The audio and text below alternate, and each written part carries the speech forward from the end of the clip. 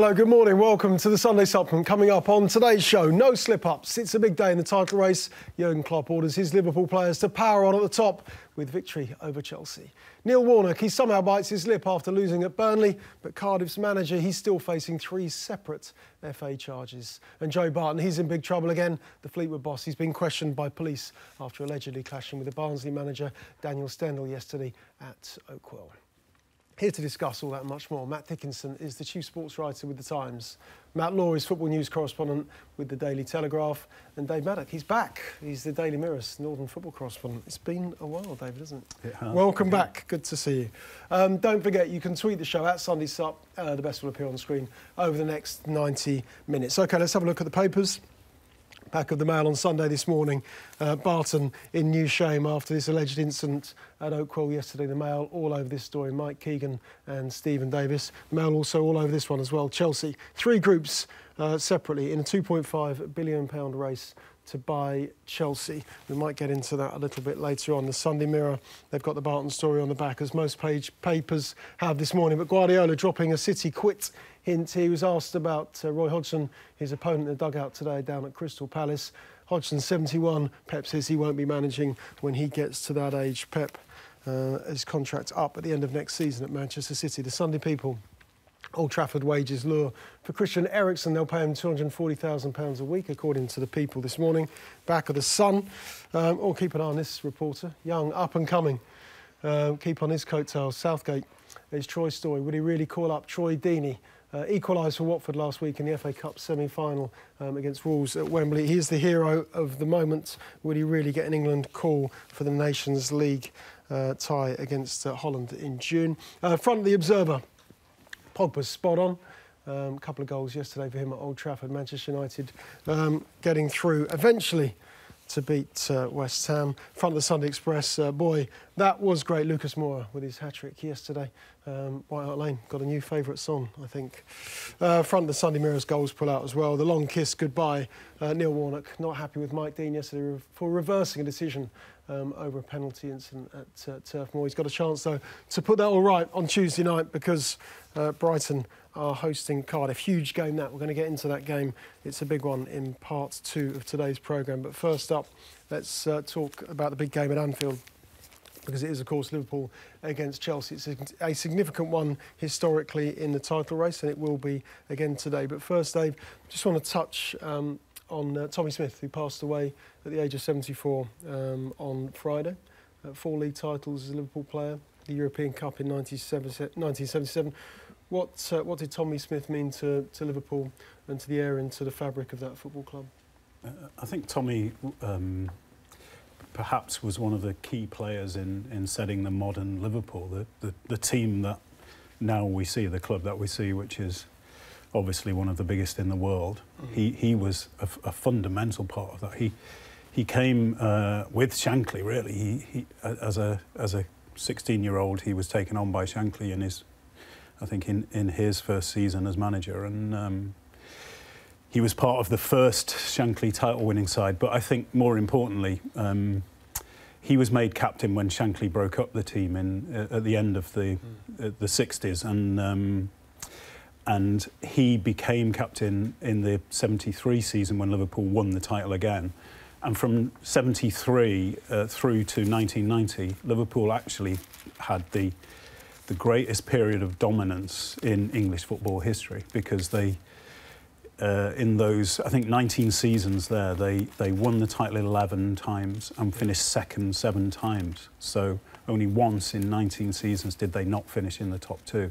And it was Tommy Smith, who was the captain for the first part of that, who kind of set the, set the tone, set, set the standard, if you like, uh, for what became the, the, the, the biggest dominance in, in English football. And I think Liverpool became the club that they are and the club that they are now, which is perhaps only behind Manchester United in terms of sort of world recognition mm. um, because of the, the part that he played for sure. I don't know if you ever experienced this, but Ollie Holt, uh, in his column, there's a great anecdote today of when he first went, his first ever trip to Anfield uh, as a reporter. Um, and uh, he said there's a few knowing smiles when, when Ollie sat down in the old press box there yeah. in the main stand. And all of a sudden, Tommy Smith walked over and said, That's my seat. And Ollie said, Well, I've never moved as quickly uh, then or since. That's true. You, you never, you, you, only, you only sat in his seat once, put it that way. and, it, and it happened to everybody. It would kind of almost be an initiation sort of processing because he, he worked for years for the for the local paper and he had a seat in the in, in the press box and it was his seat. Yeah. Tommy Smith, a big part, of course, of uh, Liverpool's history, he passed away on Friday at the age of 74. Um, let's get into today's game, David, because most of the previews, of course, it, it, it's it, it it triggers memories, of course, of the Brendan Rodgers team that played Chelsea um, and the famous slip, Stevie G's famous slip at Anfield. Um, how have things changed since in the intervening years? It's, it's funny, isn't it? Because it's natural to, to sort of look back on that on that game. You, you yeah. can't you, you can't look at Liverpool Chelsea without without remembering Gerrard's slip. But actually, I think uh, Liverpool Liverpool only have three players in their entire squad that that were there, mm-hmm. that were in the squad in, in 2014 and, and only one of them is, could, could play today, and, and, that would be Jordan Henderson, and he didn't play in that game in 2014. Chelsea also, I think they only have two players left as well. So, I mean, it, that kind of just shows you the incredible turnover in modern football. But also, uh, I was at the press conference with, with Klopp on Friday, and he said, it has nothing to do with this game whatsoever. And, and yeah. he's absolutely right. There's no bearing on this game at all from, from 2014. Yeah. But I think there's a sense that um, a sense of Liverpool need a redemption possibly from from that that not not that game but that season when they came so close but but perhaps just lost their way slightly in that game they yeah. they they showed their inexperience in that game sure. they, they got to the point where they didn't actually have to beat Chelsea that day. They only needed a point, and Chelsea sat back. Chelsea, the first 20 minutes of the game, kept the ball off the pitch for all but six minutes. Right. So the ball was only in play for six minutes of the first 20. And Liverpool, instead of saying, well, that's fine because we only need a draw, keep it off, keep it off for 90 minutes, they, they, they, they lost their heads a bit. Yeah. And I think what, we, what, what they want to do today, what the fans will want to see, is Liverpool showing a very different approach, being measured and calm and, and, and being confident in where they are now. They're big rivals, of course, historically, Liverpool and uh, Chelsea. Is the, is the intensity still there? Can we, can we still feel it between these two teams? Certainly between the fans. I mean, I think, you know, Chelsea fans, as, as Liverpool fans the other way, would, would revel in, in trying to give them a bloody nose today. Um, Chelsea feel like a different team now. That under Mourinho and then under even Conte, they were quite a cynical team. They liked going out. If they couldn't win, they liked kind of ruining it for their rivals. You know, they ruined it for Liverpool. They ruined it for with Conte. They ruined it for Tottenham, and they would celebrate that almost as much as as winning themselves if they couldn't win. Under Sarri now, it is a little bit different. They've got a different. They don't have the nasty characters and the, the Costas and the Fabregases of this world and the manager is different in that I can't. He might go out more compact and more defensive, but I can't see him going out cynically, trying to actually sort of kill that game in the same way Mourinho or Conte might do, and I can't see him taking so much personal pleasure from trying to ruin it for Liverpool. I don't think that side of it will matter to him at all. So I don't see Chelsea's team talk particularly being about let's wreck this for Liverpool, whereas and Mourinho or Conte may well have got into that. Yeah. So I do think they're very different, and I'll be interested to see how they set up today because the last few games, Sarri's actually won round the fans a little bit by putting in Hudson-Odoi, putting in Loftus-Cheek, which has made them a bit more exciting, but does make them more open as well. Now, other managers would go to Liverpool and try and really close it down, and he might be tempted to, but what's kind of got the fans off his back recently is making them more open, which could play into Liverpool's hands a little bit. Yeah. Does it matter, Matt, who goes first here? Man City, of course, play at Palace first up this afternoon. They'll know, of course, they will know the result by the time they walk onto the field at Anfield. Do these things make any difference to the players and to the to the mentality and the approach? Um, they can uh, they can do within individuals, I think. But uh, I mean, I'm sure Klopp will be trying to keep everything totally focused on on what's to come. I mean, yeah, there's there's enough games left for there to no one to be, you know, thinking this is this is the one. But uh, I mean, ultimately, I think Dave's Dave's right. I think there's this feeling when you look at the, the remaining fixtures of both teams that if Liverpool get through this one, if win this one, psychologically that will be huge. I mean, it's it's definitely their toughest game. You look at City have got Spurs um, to come in Europe and in the league. They've got the Manchester derby, which is, you know, City going to be favourites, but is inevitably going to have all the the feistiness of a derby. So I, th- I think for Liverpool, this does feel a particularly big afternoon, just because it looks like the biggest hurdle they've got. Yeah. How significant was Henderson's chat with um, with Klopp about his his role at the base of this uh, midfield? He wanted to play a more advanced role, and we saw when he came on as substitute the frustration at Southampton when he came on. Scored, scored his goal, and it was, you could see it was such an important goal to him. And he hinted then that he had those conversations with Klopp, but then that's developed as the days have progressed. He did have a conversation. Klopp, Klopp joked about it in the press conference. Said, "Yeah, a player can come in and tell me he plays in a position, and I'll put him there." Obviously, that didn't happen. Yeah. He, he, Klopp clearly knows because he played in that position when he first arrived that he can do that role. I think it's significant. Um, perhaps Henderson himself realises that, and he, in fact, he did. He did an interview with us this week, and he said that that that Fabinho is more natural in that in that holding role, which Henderson himself has been playing the last couple of years, and and Liverpool have looked better with Fabinho playing that role this season. Looked a little calmer, and, and maybe his passing is a little more incisive from that position. So Henderson himself is the captain, and I think he he realises that his role might be limited, his, his his opportunities in the number six. So he needs to develop again in different areas to give himself more chance of playing. And I think that's that's the significance of it. It'd be interesting to see whether he actually starts today, Henderson. Yeah, I mean these these critical sort of these critical fixtures between now and the end of the season, Dave, for Liverpool, where will the title be won, lost? Who are the crucial players that Klopp will look to to get this to win this title? Well, Van Dijk for a start. Van Dijk's the difference this season. You, you, you look at they've conceded 20 goals all season, the, the, the least number of goals conceded in the Premier League, and, mm-hmm.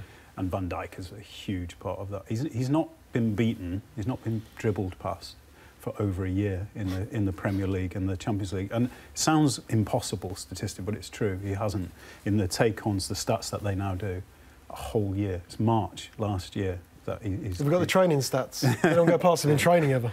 Uh, Salah? Well, apparently not. Apparently he, he's he's this wall. He's his reading of the game is obviously massive. And actually, I mean, it could be key today because Hazard, as we know, is his great ability, and we saw it against West Ham, was dropping deep and then running at the centre halves and just skipping by them. So if there's one defender you want who can defend against that, is a guy who's not been dribbled past for, for over a year. Yeah. So he's, he's a massive difference, and then obviously they'll they'll need the, the forwards to step, keep stepping up as they've done all season. Yeah. Where, where are we on Hazard watch at the moment, uh, Matt? Uh, I know you wrote at the start of the week that Real Madrid pretty confident they are going to sign him this summer. Yeah. Um, how far down the line is it? They've certainly made contact with Chelsea. I think negotiations are well on the way now. I think they've been talking figures. Um, they're at two different places with figures at the moment. Chelsea, even with only a year left on his contract, want at least 100 million, if not more. Mm. I think Real Madrid probably don't want to pay more than what they paid for Gareth Bale of about 85, 86. I think they'll get there because the player's desperate to go. He's definitely not going to sign a new contract, even if Chelsea just said no to Real Madrid or summer, he mm. wouldn't end up signing a new contract. They know they'll end up losing him on a free if they don't do it. Um, so yeah, it's well underway and it's all heading to him going. I think Real Madrid want to do it pretty quick as well. I can see it, him getting the move by the start of the summer, really. Right. Matt, you wrote about it on Friday in your column, didn't mm. you? This failure of English clubs to be able to keep hold of their the well, best talent in the in the Premier League. It's the one. It's the one thing that we we can't seem to win, and I don't think ever will win that lure of Barcelona and Real Madrid among certain players. It's there, and you can't, you know, you can understand it. Particularly Hazard in his case. Zidane was his hero as a kid, um, and he grew up watching the Galacticos, and you can imagine that, you know. you can't get too romantic about um, hundred million pound deals Yep. and big pay rises, but it's you can understand his desire to go, and and it's a fact. You know, we've seen it with Suarez before. We've seen it with Coutinho, Liverpool. I mean, they've done very well out of the money they they, they recouped on that. But that's that's the best you can do is get get the huge fee and spend it wisely. Yeah. Um, City playing uh, Palace this afternoon. Did we see any signs? Did we see any signs of vulnerability um, when they lost at Tottenham in the Champions League? The first first leg, of course, the second leg to come um, at the Etihad on uh, on Wednesday night. But did we see any vulnerabilities in this City side on Tuesday? Well, I mean, myself and Matt both wrote about Guardiola's team selection and the way he set up for that game, which was a surprise. I mean, he looked like he was going very cautious there, um, not to lose the game and not to lose the tie, like they had done against Liverpool, you know, in the first leg. And it seemed a real departure from, from the way he, he goes about his business normally. And it, it didn't work. It just didn't. It was stodgy in midfield. Mahrez couldn't really get into the game or make any significant impact. It was strange. Um, I'd, I'd be wary of kind of using that performance, though, to judge them for the rest of the, the title run. And it, it seemed like a, a one off team selection. It seemed something he did almost as a response to what happened against Liverpool in the Champions League and, and very much keeping the tie alive, which they still have done. They're only one goal behind. So I can't see that being part of their, their Premier League form. And also with Guardiola, it's weird. You, you almost have to separate them at the moment. There's the Premier League Guardiola and the domestic Guardiola, who's you know amazing and done incredibly. And then there's the Champions League Guardiola, who, going back to his Bayern Munich days, seems to have found it tough when they've come to the real crunch games. So no, I, I suspect. I mean, we're both at the Palace game later, and I would expect them to, De Bruyne to be back in, be back to their kind of very attacking front foot style rather than, you know, sitting off a little bit more. We're always reluctant to doubt managers, but that makes a great point about the Champions League, doesn't he? Because the great, the great Barcelona teams that uh, that he was in charge of, 2009, of course 2011, um, but his failure, the Monaco, the Monaco game in his first season in charge, last season as well against Liverpool, when he wasn't prepared for that first leg. Is there is it just a difference in mindset, competition, the way that he approaches it, or Well, the think- expectations, Matt? I think those two, the last two years of, well, obviously they, they could yet go through against Spurs, you know, and who be who could be surprised. But yeah, Yeah. The, the, the the game last week and last, it does look like he's sort of overthought it, or, or you know, Mhm. he's he's got you know he's got it slightly wrong. I mean, I was we were talking about it before. You know, we sort of um, get put in our place by um, plenty of people when you dare to question Guardiola, but. Maybe he's not infallible. You know, maybe he makes. You know, and these these are games that are tiny margins. They were up against the Spurs, who were absolute, you know, front foot. Were were un, unspurs like in in the feistiness, which you know obviously cost Harry Kane in the end. But it was a very sort of aggressive Spurs performance, and um, yeah, it, it felt like. I mean, at the moment, I can't see. much. you know, if you've got a huge game, it was really surprising to see Mahrez in the starting eleven. Really surprising to see Kevin De Bruyne not in it, and and this European question. Um, is, is, is justified, isn't it? Yeah. I mean, they, City have got a squad that is more than capable of winning this Champions League. Yeah. Just finally, Guardiola. Um, it's been teased out of the boys ahead of this game. Uh, teased out of Guardiola by the boys, shall I say? Um, Roy Hodgson, um, 71 years old. Uh, Pep says, "Look, forget it. At 48, I won't be around at the same age as Roy Hodgson. I certainly won't be coaching football teams or manager, of, being manager of football teams."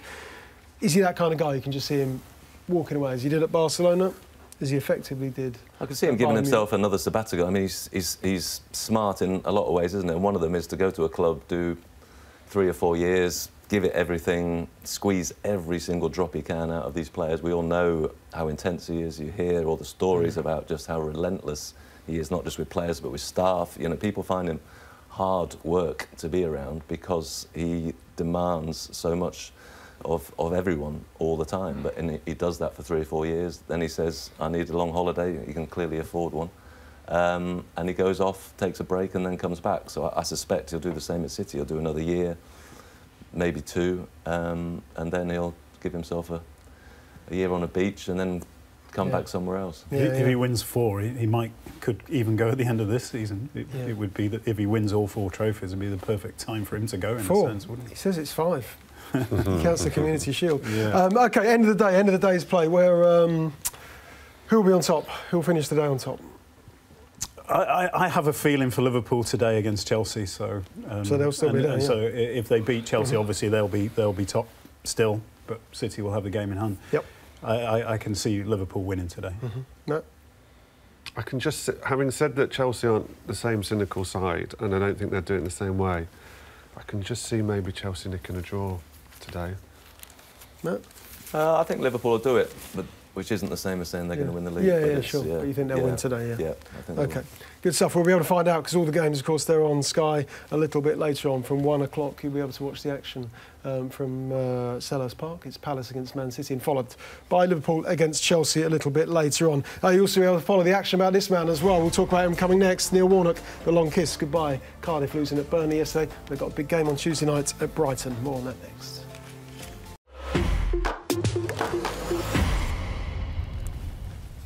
Welcome back. Okay, let's talk uh, about the relegation battle now. Let's start with Cardiff, Matt. Um, they lost at uh, Burnley 2 0 um, yesterday. They're five points adrift. They've got a big game now against uh, Brighton on Tuesday night. It's a huge game down at Amex um, for them. Um, let's, before we get on to Neil Warner, but yeah, let's first of all talk about the, the penalty incident. I love the wry smile on your face there. Um, but uh, the penalty incident, this is Ben, this is Ben Mee, uh, originally given by Mike Dean. Um, I think it's Darren Cann, isn't it, on the on Yeah. the um, his assistant, um, who flags for handball. Mike Dean goes over and uh, changes his uh, his mind. Neil Warnock not happy, but let's go through. Let's just talk about the incident first of all, and um, whether you think it should have been given. Um, no, I don't, because I mean he headed it onto his hand, didn't he? And Yeah. it didn't. I don't think that, that that's particularly a penalty, but I do agree that once he's given it, I can't quite understand what's changed his mind there. I mean, he seemed to have a better view of it than the assistant. Uh, I, I can only guess maybe he didn't realise that the, the, that Ben Mee had headed it onto his hand to start with. It, it hit his hand first, but I struggle to understand where the confusion has then come in. I think if you've given it, you've given it, and you, you have to stick with that. Um, I do think at the end of it they got it right. I actually think they had other, two other penalty shouts in that game, didn't they? A handball and also a foul in the area, and I actually thought they were better shouts for penalties. But I, I mean, coming on to Warnock, I can understand why he's going mad. I mean, he's had the Chelsea situation a couple of weeks ago, which I was at, where they were really hard done by, and not just on the Azpilicueta goal, on several big decisions. And then he's had a huge decision yesterday, and also two other penalty shouts that could have gone for him. I can understand why he's he's going mad. I mean, he can quite. I think he can quite justifiably argue that the officials have cost Cardiff four points, pretty much, in the last few luckily, games. we've got VAR to come and sort it all out next, next season because no, Well- no one argues after that. Well, the, so. the interesting thing is, I think having you know having been at Tottenham in midweek, the, the other penalty, the other handball in the penalty area, certainly in Europe with VAR, would have been given. Yeah, that's exactly it. That, that that's you know a shot, a goal-bound shot, an Yeah. arm that is not. Danny Rose, for example. Yeah, Yeah. exactly. Yeah. That I think you're right. I think that first one would have, the first Mee one would have qualified on, Certainly under in the Europe, European sil- silhouette rules. Um, and this is the whole issue that the the Danny Rose thing threw up is that we're going to have to. The Premier League is going to have to change to fall in line with Europe. I think otherwise there's going to be even more confusion, or, you know, or there's going to Europe's going to have to reverse these. I, I mean, I think that's the one thing that they are getting wrong Mm. about these the, the VAR. I think it's it's now expanded handball too far, but Mm. Yeah. that's I- an ongoing debate. it is because it's, why don't we have that consistency, Matt? Well, because you know um, bits of Europe have, have and, and other competitions have brought in VAR quicker. It's been, let's say, this push on it that it's um, because these incidents can be seen that VAR can be used. It started at the World Cup, which I say VAR actually worked really well at the World Cup, apart from two handballs, which one of which was in the final. I just, I think, I don't think these are penalties when a ball flashes by and it, it flicks off. Um, but people in authority at UEFA and FIFA decided they are, and then say the Premier League's got a big decision to make this summer with VAR arriving about whether we fall in line with the rest of Europe, because it's going to cause a lot of confusion if we don't. Yeah, still causing a lot of confusion um, in the Premier League. Neil Warnock not happy yesterday. Um, again, great line in Mike Keegan's piece this morning um, when he says Neil War- Warnock uh, he wearily trudged up the tunnel um, and uh, walked past the doping officials and said, "I hope you're testing uh, the referee," which of course he was joking. But um, the serious side of this is that these decisions, as Matt said, are costing Cardiff week after week. Well, he spoke a few weeks ago and said, "This is the last 20 years. This is all coming back to haunt Yeah. him." Would referees really feel that way? Would would that over the years would that would that have worked a way into their psyche and the way they approach games when Neil Warnock is the manager? No, no, it wouldn't. It, it, it can't, and, and it wouldn't. Well, he should. I think it would, I- I actually, do. but I'll let Dave. It, it, it, it wouldn't because in the end the referees themselves are assessed and they know they have to uh, that they have to interpret the rules f- how it's laid down and, and, and you can't the referees can't allow personality. I, I mean if there's any justice in the world it would for me because Warnock is a menace. He really is. But no I, I, I genuinely don't believe it. I think perhaps maybe what, you, what you're confusing slightly is I think there's no doubt when you look over, say, 20 years, there is that big club bias because the stadiums that the big clubs play in and the in- intimi- intimidating effect of that. And I think undoubtedly the big clubs do get decisions their way, especially in their stadiums. But, but to, the referees saying, "Oh, that he's horrible. I'm going to give give awards against him," that just that that just doesn't happen. I would say uh, St uh, George's Park on a, is it Monday morning when they meet uh, when, when the referees meet? I mean, they can't. Fa- this incident can't fail to be mentioned. Well, the, the thing is, ultimately, the officials were right.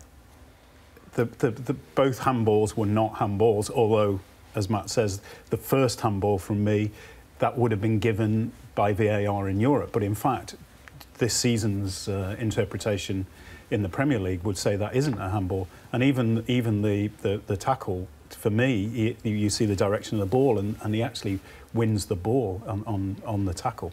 Um, the problem is that the referee changed his mind on, on the Mee handball when it came off his head. And apparently he changed his mind because the, sec- the other linesman, assi- uh, assistant, saw it from 70 yards away. Clearly, you, you would question whether did he really see that or did the fourth official see a replay and then quickly tell him? You, you, we, we don't know that for sure, but if that's the case, then that is such a grey area because they're not supposed to be doing that. Yeah. And, and, and, and therefore, Warnock really does have a, a, a, a complaint about that. But if it's the right decision, you know, who can we really complain about it? You think I- the officials have got it in for him? I have no way of proving this or no statistics to back it up, but I do think that officials will have a subconscious bias against managers who constantly hammer them. I really do. I used to think it was Mourinho for all his faults and for all he deserved, you know, some decisions to go against him and for however much he was in the wrong a lot of the time. I used to think it worked against him. I just think, even if it's subconsciously, not consciously, if you keep having one guy hammering you and getting on at the referees and it's going to get into your psyche. It's going to influence sometimes. I just think it is. nobody, nobody was worse, worse at that than Ferguson, Sir Alex Ferguson, and yet United, you would say, got decisions that they shouldn't have done. So I, I, I, I can't believe that because Ferguson I don't would think. be a prime yeah, candidate that's, to, that's, to that's a good point. That is a good point. But I just think, I think it happens with players as well. I just think it can be a factor if it's a 50-50 decision that it ends up going against you. I'm not saying anyone does it on purpose. I'm not saying they go out to get these people. I think that would be crazy to think that. But I, I just think, certainly with some officials, it must get into their way of thinking. It must Mm. do. Okay. They've got a chance, though. Big chance on Tuesday night because it's against Brighton, Matt. Brighton lost 5 0 at home yesterday. Um, lost an FA Cup semi final last week. Uh, did they lose their heads yesterday at the Amex? Um, I think I think we can safely say that Knockaert did. Um, he lost everything. Um, I mean, as tackles go, it's uh, just extraordinary. We're talking about. I mean, Cantona at his maddest, um, that sort of level. Um, what he was thinking, goodness only knows. And I mean, utterly, you know, talk about putting your side in, you know, even worse trouble than they already are, which is. I mean, it's you know everyone acknowledges Hughton has done a fantastic job. I think he took over when they were you know, near the, Hmm. towards the bottom of the championship. They've he's he's he's been. You know, we, we only have to look at Newcastle to know how easily underest, you know, undervalued he can be as a manager. Um, his his reign there has been hugely successful, but they have just been. This has been not a few weeks. This has been a, a run of going back a few months now, and lack of goals obviously is the the very obvious thing to point at. There's been a lot of grumbling I've seen from fans about the feeling that they're setting up too too cautiously. Um, uh, they've got a big chance to save themselves on uh, on Tuesday night, and I, I've got a feeling they will. But um, but it's yeah, um, a proper mess. It's, it feels like one of the games of the season, isn't it? I mean, we talk endlessly about Manchester United, Liverpool, Tottenham, but this is this is a big game. Absolutely, yeah. I mean, the, the, the sort of possibly the future of, the, of, of both clubs depends on it because you go out of the Premier League and it, it's pretty tough to get back in, and, and you know, jobs are at stake, and, and it, it, it, it's massive. I'm, I'm not sure when you're saying games of the season, you can actually extend that to the quality of the game because Yeah. I can imagine it's. It can be, it could be pretty grim because there is so much at stake. But, but absolutely, Yeah. It feels like my worry for Brighton is that as everyone else down there has been fighting for a very long time. You know, Southampton now look clear of it, but they've been fighting for a long time. Cardiff have been fighting. I mean, that's what the Cardiff are good at. Um, and it feels like Brighton probably only now really think they're in a relegation fight to me. They've just been sort of sleepwalking along. People have been ignoring them, assuming they're okay. And that, that could be very dangerous for them. Also, the match with the Southampton's a good comparison because you see, you're not surprised when someone like Red, Redmond steps up and, and shows match-winning quality, but you, you're looking at Brighton at the moment and wondering who who is going to step up, who's going to be a match winner, who's going to who's going to make a difference. And looking at that yesterday, yeah, completely lacking. Yeah, it was a shambles, wasn't it? Do we owe uh, Sean Dyche an apology? 39 points um, after that victory over Cardiff yesterday. They've got a tough run in, I've got to say. Chelsea, Manchester City, um, Everton away, and uh, finishing the season at home to Arsenal. But there were certainly doubts at the start of the season, weren't there? Um, Well, I think you know, form because they made such a justified it, didn't start. they? They'd had the you know getting into Europe and and all the, the, the excitement of that, and it did sit. You know, for a while they were they were struggling to be Burnley, weren't they? They were struggling Mm. to do to do basics well. But um, I, I I never thought they'd go down. Um, and uh, again, it's I mean, if you've got a manager, this is the surprise of Brighton, I guess, because you look at them and you just think there's you know shrewd manager coach there, someone who gets the best out of some you know by Premier League standards limited players. Um, as long as Burnley held their nerve with Dyche, I thought always thought they'd, they'd be fine. And I Hmm. think everyone felt the same with Hughton, and that is the shock of, of seeing them suddenly right in the in the thick of it. It's quite, it's, quite, it's quite interesting with Burnley because p- people say, oh, they've, they've got tough games and all, but they actually play really well against the big teams, and they could play a really significant part in this title race because they play City at home. Yep. And, and City have struggled a tiny bit in games like that. I saw Burnley play against Manchester United at Old Trafford in the middle of Solskjaer's brilliant run. Hmm. And they were much the better team and actually played some decent football as well. So they're not, they're not quite as limited as people think. Who, who's the best equipped, Matt, to, to stay up here? Well, I, I just I think Cardiff are probably too too far gone. I mean, I think they probably won't beat Brighton, and that'll be that'll be that for them. I mean, they've been punching above their weight just to stay in the fight.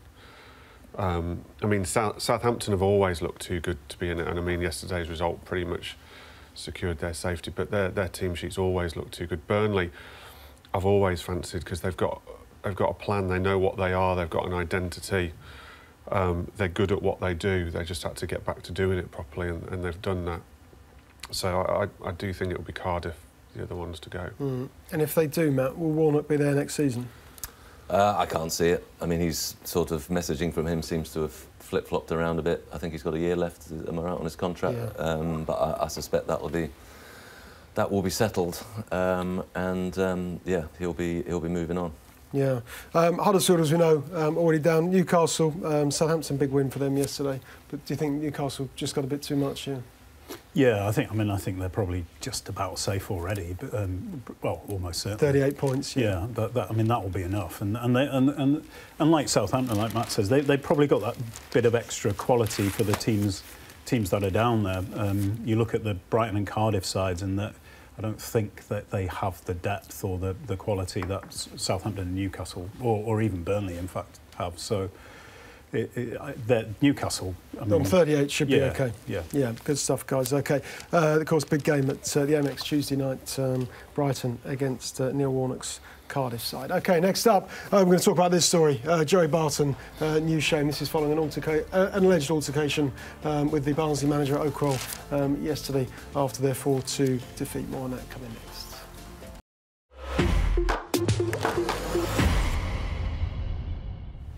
Welcome back uh, with us this morning, Matt Dickinson, Matt Law, and David Maddock. Let's just remind you what's in the papers this morning. Back page of uh, the Express, uh, Pogba, Paul Pogba saving uh, Lucky United coming off the back of that uh, defeat against Barcelona in the week in the Champions League, though they did beat West Ham yesterday. It's looking good for Tottenham. Three wins out of three for them at their new stadium. Um, it's Palace.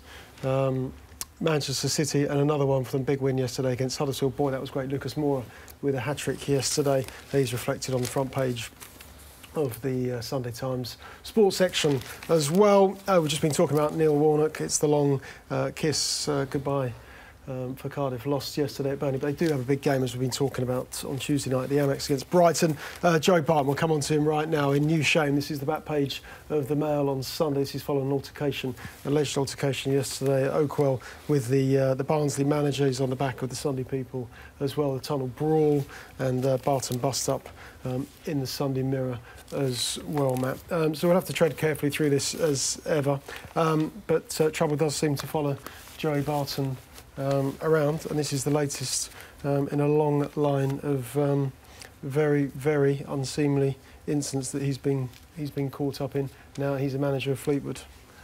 Uh, yes, um, I mean I was just we're tracing back. I mean he got the job because he knew the owner from yeah. from way back, and the reason he knew the owner was because he wanted to to train with him when he was, um, I think it was on the 12 match ban from going way back to the um, Aguero yeah. uh, incident with with QPR. Um, he he then gets the job, but has to wait until his ban um, for the betting.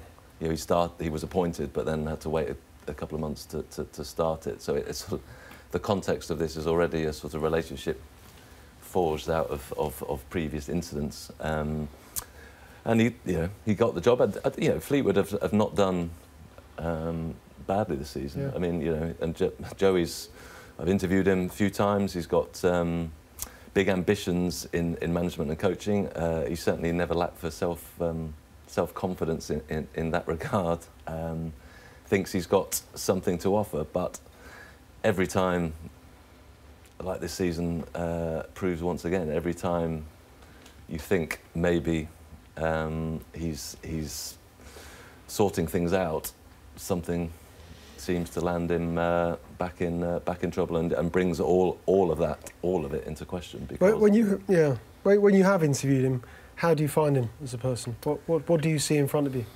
Uh, all, all extremes. Um, you see, you know, he can be incredibly eloquent. He can be incredibly uh, honest about himself. Um, at the same time, you know, he, uh, you know, he's, he's talked about the, the, the, the, violence of his upbringing and how it was, mm-hmm. you know, if he came home saying, I've uh, had trouble with the next door neighbours, he's spelt it out. His dad would basically say, you know, here's a baseball bat, go and go and sort it out. That's mm -hmm. doesn't uh, excuse um, his, his, own violence through his life, but he, he he would say that that's context for it. Um, but it's you know the fact that he's been to prison, he's um, um you know he's he's had to wrestle with uh, a, an awful lot of demons, and some at times he seemed to conquer. But here we are yet again yet again talking about um, clearly ongoing struggle and not one necessarily is winning. Yeah, and he's been involved in a lot of incidents, a lot of different area, lot of different incidents over the years. Matt, he's transgressed a number of things. Um, you mentioned uh, the betting ban earlier, didn't you? Yeah, I mean, I've never interviewed Barton myself. I don't think even as a player, um, but I must say when I've heard him on on TV, on the radio, and I've read interviews with him that people do, I actually often find he comes across quite well. I quite enjoy listening to him. He's got a lot of, you know, interesting, sensible views which he can articulate quite well. So, as someone who doesn't know him at all, I've always felt there's obviously two very, very different sides to him. And, you know, if he has transgressed again, it seems a shame because it does feel from just listening to him and reading about him that he, he would have something to offer. He's obviously passionate about trying to get into coaching. I mean, even if he knows the owner, he's gone into Fleetwood. It's not a particularly easy or glamorous job. Um, he gives the impression of someone who would work incredibly hard at it. So it'd be a massive, massive shame for him mainly if if he's if he lets himself down and, and passes up that chance because it it does feel like he's got something to give. Yeah. Um, we should just make it clear that uh, Fleetwood have said that uh, they're investigating the incident uh, themselves, um, but um, nothing further on that at, uh, at the moment. We do know that Joey Barton was interviewed by police at Oakwell yesterday, or after that 4-2 defeat at Oakwell. The bigger picture, though, David, is this toxic environment that, that football seems to be operating in at the moment. Is there has there been a particular trigger for that? Because it's not just Joey Barton yesterday. That's just that's the latest example of one of the game's serious issues. But if we also reflect on social, the ills of social media, the keyboard warriors, uh, the typewriter terrorists, those kind of characters who are operating in in in a bubble and have got an opportunity and can very very easily access the game's biggest personalities. I, th- I think you've got to separate it out. I think you know. Let's put Joey Barton aside, especially because mm-hmm. we don't know what happened yet there. And and and but there is a toxicity around. Did well to get that word out.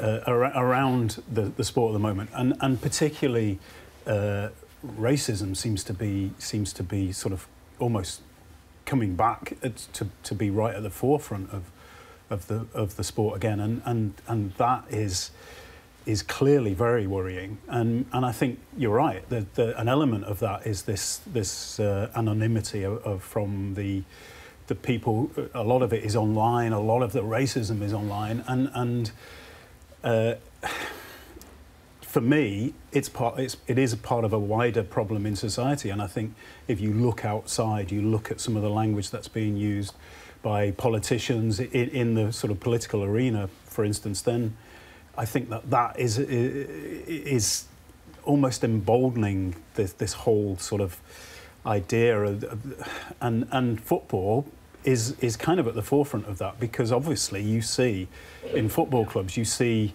um, uh, races working together different different uh, ethnic sort of backgrounds all working together and and it, it then seems to uh, attract these sort of extreme opinions about that and and I think it's really worrying. Um, it's not football's problem; it's society's problem. But but football, as as being so high profile, clearly has to do something about it, and, mm. and probably needs to take the lead in in that area. The it's thing I can't quite get about all this is that how you know.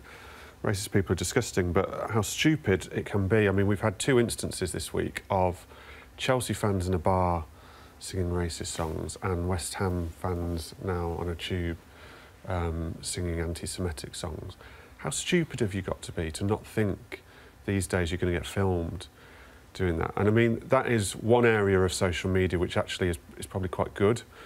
That you can't now get on a tube or go into bar and sing these kinds of songs and have no chance of getting and have a chance of getting away with it. Because I think now 70, 80% of the time, someone in there might not be brave enough because it would be incredibly brave to take these people on and say something, but they do get filmed and outed now. So how stupid have you got to be to mm. think you can do it anonymously and that you're not going to end up getting outed for it? And, and that is a good thing. Dave makes the point about football's got to take the lead, but does it have that response? Does it have that responsibility? Um, it's it's got responsibility to do to do what it can. I, I, totally, you know, I think John Barnes has been one of the most um, eloquent people about this because I think he dares to, to, to question, you know, his, his, view is that football can land on this with a ton of bricks, but that doesn't necessarily cure the, the bigger problem. And I think he's a, a really necessary voice in it. And, uh, you know, it's really interesting, even in the, the black community, there's different views. Some people think uh, you should walk off the pitch. Raheem Sterling comes out and says, no, you shouldn't. So it's, it's not easy to come up with, with one, you know, let's do this and that fix it because ultimately, you know, as, as say as Barnes, I think very rightly says, you know, I think he's, you know, you can have a stadium and you can silence the racists. That doesn't mean to say you've got racism out, out of people, is it? So mm-hmm. it's, it's, I think there's a few good things that are happening. One is that young black players like Raheem Sterling and, and, and others are feeling emboldened and, and that they're going to be supported when they come out and speak about it. I think that's, that's been a really uh, encouraging trend of the, of the last couple of years. I think Matt's right that, you know, sort of self-policing among fans, if they see, you know, if they're seeing stuff going on that they think is outrageous, it's being filmed, it's being posted. I think the reaction, uh, uh, I think the media are far more alert and alive to it. I think we are rightly getting more involved in, in questioning it and pushing it. And I think the authorities, UEFA, FAs, etc., are coming under more and more pressure. But I think it's so. Yeah, football has a responsibility to do what it can while being a small segment of a massive societal problem. Can, can we compare, say, our first football experiences with going to the game now? Because if I look back at, say, the mid '80s, David, going to football matches, and I would I, I would say that the behaviour that we're talking about on this table now was just accepted when you went to a game. That's what happened.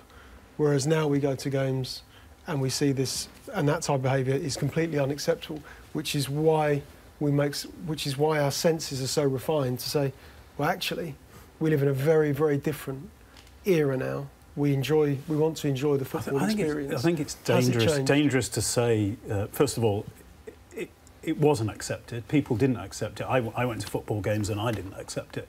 Um, it was more accepted than it, than it is now. But but, it's, but it's still, what happened. Yeah, it, it, it, certainly it absolutely happened. Just listen to to the, the players who black players who were playing then and, and listen to their their experiences. But I think it still is happening, and I and I don't think we we certainly can't trivialise it.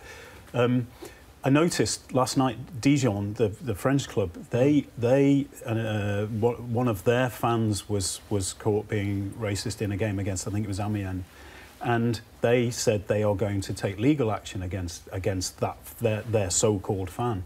And for me, that that is, I think, what needs to happen. Instead of saying, "Oh, we'll give bans, we'll do this, we'll do that," it, it, it, this sort of behaviour is actually a very serious criminal offence. It is against the law, and really, now it is time for for football clubs to do what Dijon did and to say we are going to take legal action against these people. We're not going to stand for this. And I think it is important that football makes this stand because, as I already explained, they're, they're, they're kind of at the forefront in so many ways. Um, and I think that football has this ability to, to get through to young people um, that maybe you know other areas of society don't and and and if they can make a stand, if they can make it so that it is totally unacceptable, then I, I think that, that that would be a really huge thing. Can the clubs take more responsibility with their social media accounts? I think there was an example last night, Matt, of um, I think Chelsea tweeted Steven Gerrard slipping um, in 2014. Uh, so the infamous slip back in 2014 at Anfield, game on today. Does that antagonise? Does that provoke people in the build up to matches? If it does antagonise or provoke someone, then it probably says more about the person than the Twitter account. If someone can't take that as something light-hearted, and if someone can't see that that is part of sport, is having a little dig at people, a harmless dig at people, or a harmless bit of fun, is part of supporting football, liking football, liking sport. We all do it, you know, we all support different teams or we like different things, we all have a laugh with each other about it. If you're the kind of person who can't take that for what it is, I think that probably says more about you. And I think we've got to be careful of being so, and I'm certainly not talking about racism here, let me just make that mm. clear, of taking jokes so out of context that we, we stop making jokes because of the worry of idiots becoming antagonised by them or becoming violent because of them. I, I wouldn't say that. And I, I would say, what I also would say is that West Ham's reaction very fast reaction to the anti-Semitic chanting on the tube has been excellent. Chelsea, actually, for all the criticism and the problems Chelsea have got with a, a small minority of their fan base, they are actually doing an awful lot and taking an incredibly hard stance. The language they're using against their people, you know, they're making it clear, very clear, that they don't want these people anywhere near them, and they're using words like they're an embarrassment to the football club. That's what's got I to think, happen. I think that's huge. I, th- I remember Jurgen Klopp over the Liverpool fans on the with the Man City, but and, and I thought I was really impressed. He came out and just said, "This is unac- you know, unacceptable. This is shaming shaming our club." And I thought more managers, more players, more owners need to be have that boldness to absolute, you know, the, the, the criticism. I mean, you're trying to get through to some mindless people, but the best chance you've got is if your own manager, your own Mm. player is saying, we don't want you, you know, we, we, don't, we don't want this, we want you out. And I think that's, you're talking about clubs using social media or whatever. I think more and more managers, owners, clubs um, use, the, use these star players, use them to come out and say this behaviour is totally unacceptable. And I think I think that is the best that clubs can do. Yeah. Well, they, they can do plenty, but they, there should be a lot more of that. Yeah, I agree. Uh, strong stuff from the clubs this week. Strong stuff from strong stuff from the guests here on the Sunday supplement as well. Okay, next up. Uh, oh, we're going to test them on their uh, knowledge of the championship. It's coming next.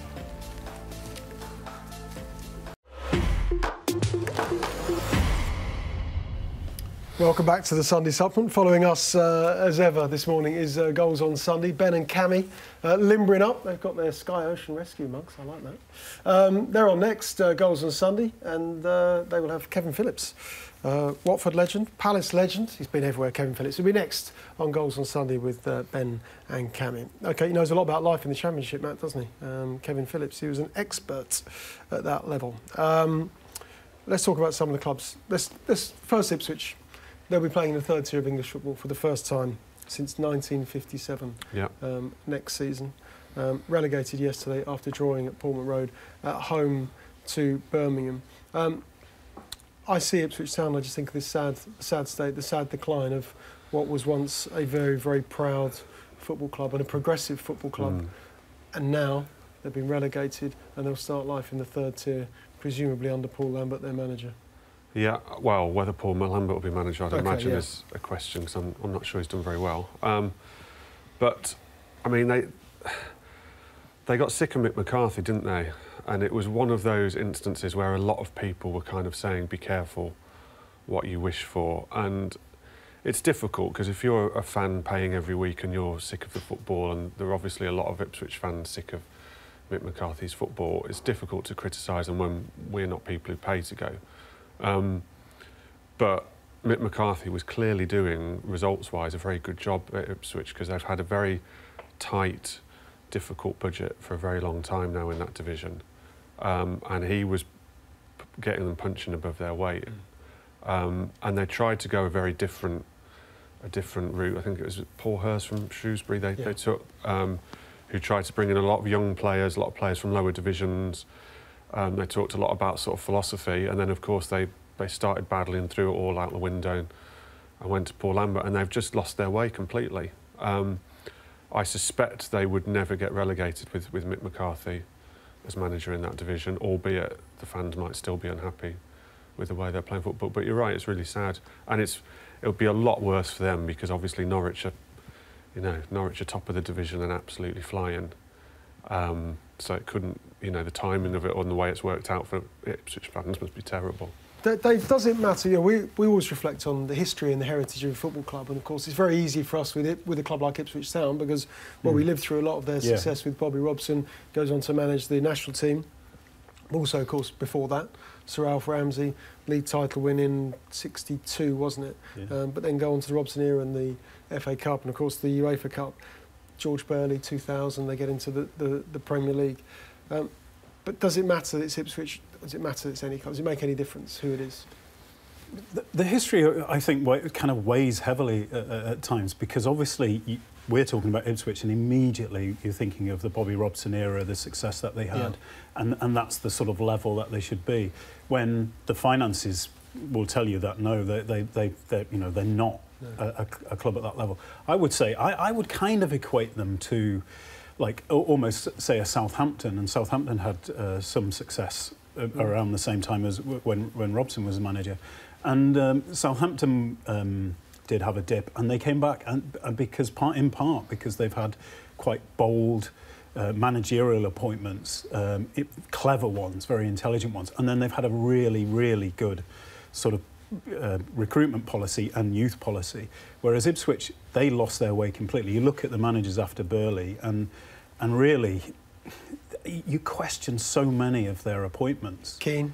Uh, uh, well, absolutely. But uh, um, and and Paul Hurst, you could argue that that was a bold one, but did he have the, the experience that they needed at that time? Did but you look at Southampton's appointments, and they keep appointing managers. And and uh, Hasenhüttl, if that's Yeah. how you pronounce it, was another really brilliant appointment. And they've had they've had so many, and and they've lost like Pochettino is a fantastic manager. And they, they lose them, but they, they seem to find managers. Whereas Ipswich, who are not a million miles away from the sort of Southampton level, hmm. have just been disastrous, both in the, their appointments managerially and also the recruitment as well. And I think, you know, maybe they, they need to look at the club itself and the structure of the club and, and, and a, you know, the, the, the board and, and look at what they can do and, and take, take Southampton as a, as a good example. I mean, a lot of clubs have been down, haven't they? So we look at look at Portsmouth at the moment. Sunderland, Forest have been down. Leicester have been down. Southampton. Leeds, They've been Sheffield League Wednesday. Sheffield Wednesday. They've all had But a go. They've all done it. But that's, I mean, you know, it, it is a mad, uh, volatile division. Um, uh, and as a QPR fan, uh, well, Q, sorry, QPR season ticket holder, um, I, I, certain, I, certain, How I can you certainly. forget who you actually support? I've never, What's that? No one's ever forgotten who they support, and you just. Well, I'm a, uh, I'm a Cambridge United fan. My kids are QPR fans. I own three QPR season tickets. That's, that's how I'm putting it. Shame you don't Um, own the club the way they're going. The, uh, well, but exactly, you know, to talk about volatility, talk about, you know, this is a, a, a club that was flying high, throwing money at it. Next thing you know, you know, if they get, they're looking for a new manager, and if they get the wrong guy, they could end up in, in League One. So, you know, the, it's a division where you've got teams, some teams that are going down with, with the parachute payments. They've got those sort of budgets. You've got clubs like Aston, Aston Villa, big clubs who have got you know uh, bigger resources. You've got clubs constantly testing FFP, breaking FFP. You know, we saw what happened to Birmingham with their point deduction. There is the championship is this fascinating sort of madcap mix of clubs with wildly different budgets, wildly different expectations, ambitions, histories, and on the one hand it makes it fascinating, but on the other it's, it's a basket case, um, sort of in terms of the way a lot of clubs uh, are run. The brilliance of it is that it's no, it's no respecter of budget, though, really, is it? I mean, pretty much the Premier League will reflect the, the wage budget of every club, give a few exceptions. The Championships just throw it up, up all in, in the air. yeah. I mean, while we talk about Ipswich having a very tight budget, I mean, Mick McCarthy almost had them promoted with that tight budget at one stage. Yep. You, They got into the playoffs. I You think, one can- year, yeah. yeah. I mean, it's no respecter of the amount of money you've got at all, which makes it fantastic, really fantastic. Who will get this, or who should, or who will get this QPR job? Because Carlos Carvalhal um, has been linked with Sheffield, Sheffield Wednesday, of course, Swansea. Uh, Mark Warburton at uh, ex Brentford manager, ex Rangers. Uh, Tim Sherwood, Mm. big big pals. Mm, Yeah. with Les Ferdinand, director of football there. That one's not getting my vote. Um, Carlos Carvalhal would be interesting. I mean, he was he, Sheffield Wednesday.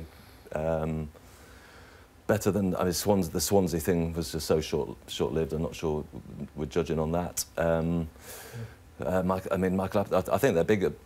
They've got to get it right, but at the same time, you know, they are slashing slashing the budget way back, and that's that's that's the, the context of whoever comes in is that he's going to be playing a lot of kids. He's going to be trying to bring in.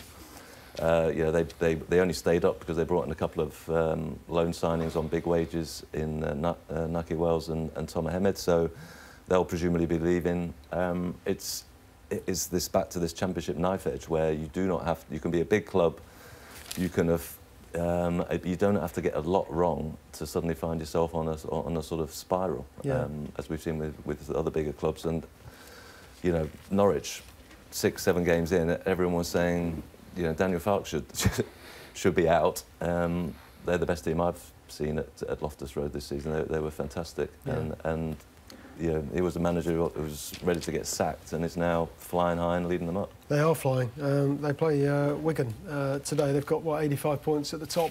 Not too far behind them, Matt. um, are Aston Villa. Big club. Big, big club. Massive club. It wasn't that long ago, and I did send you this the other day, didn't I? Yes. Via WhatsApp. Um, is I tried to remind you of a tweet. I don't know if I actually found it or could be bothered to search that far back, but you did tweet something along the lines of the season over. Let's prepare for next season. Um, I did.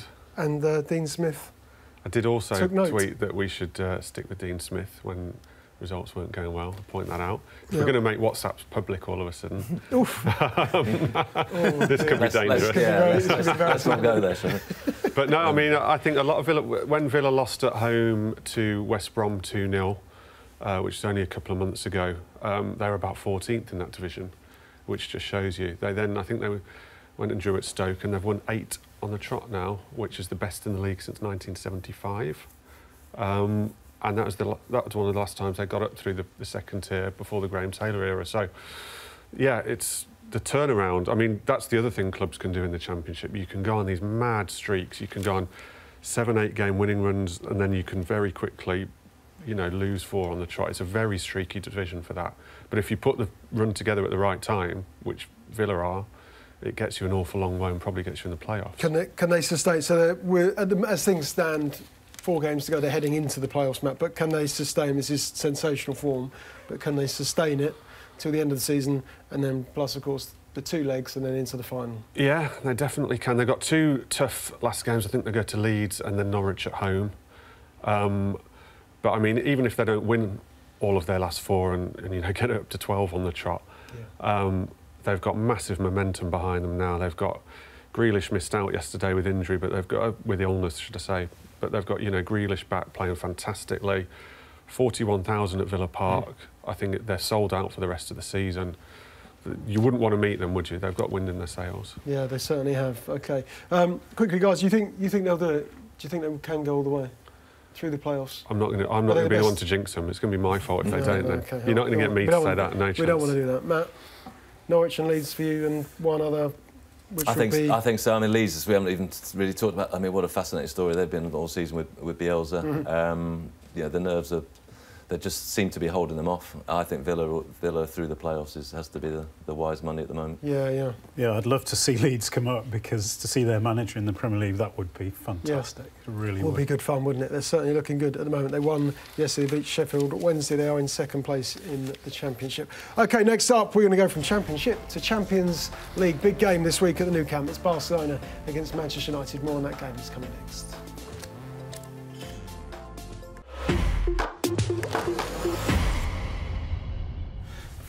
Welcome back. Okay, let's uh, talk Champions League because it is a big week coming up. Uh, Barcelona, Man United, uh, Man City against uh, Tottenham on Wednesday, Porto against Liverpool, uh, which Dave will be at. Let's first up, let's talk um, Nou Camp Tuesday night.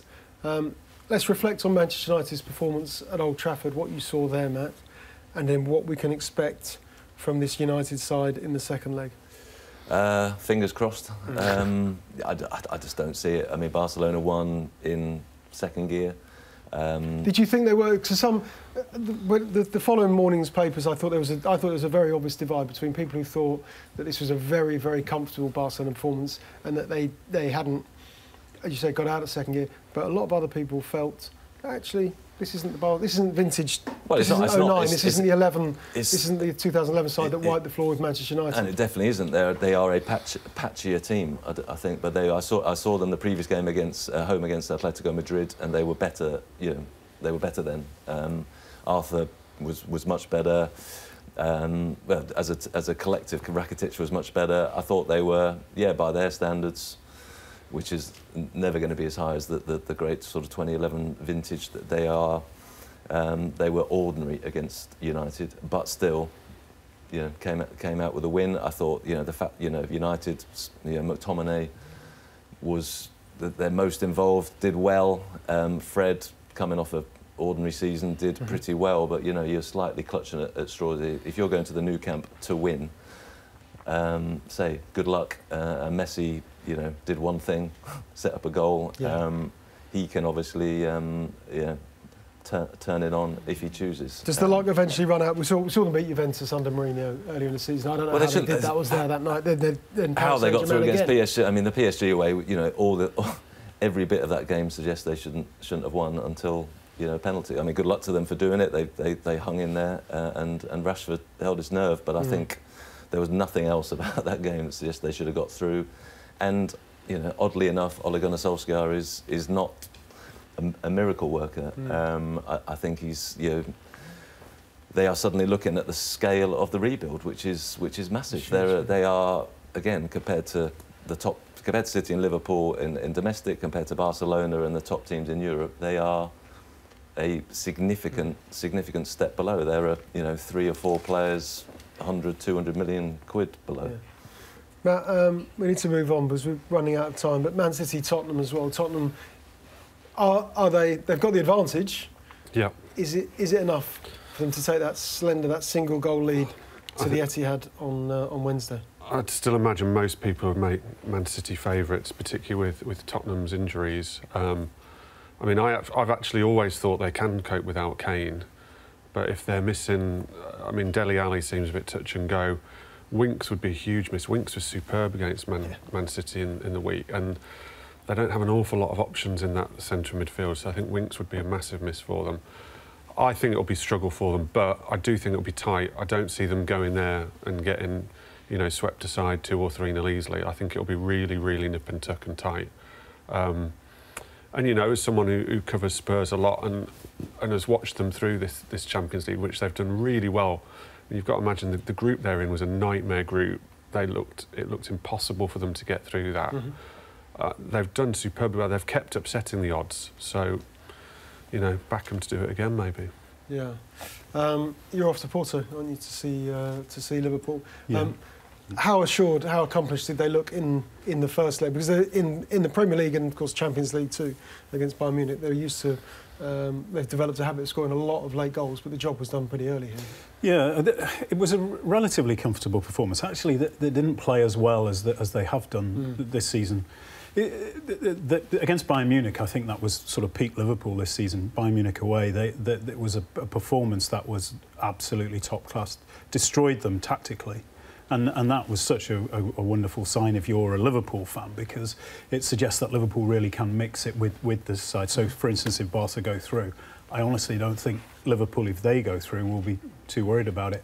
Porto, uh, Porto away is y- y- you would Porto have got a real dilemma now because last season they came out, had a go at Liverpool, got caught on the break, conceded five goals. So if they do that this time, they concede a goal, it's over. So they, they've got they, they've got this dilemma: do we come out? Because they've got to chase the game, but if we do, we, we risk conceding a goal, and if we, we concede, then the game, the tie is over. So that plays into Liverpool's hands a little bit. I think I, you would expect Liverpool to go through.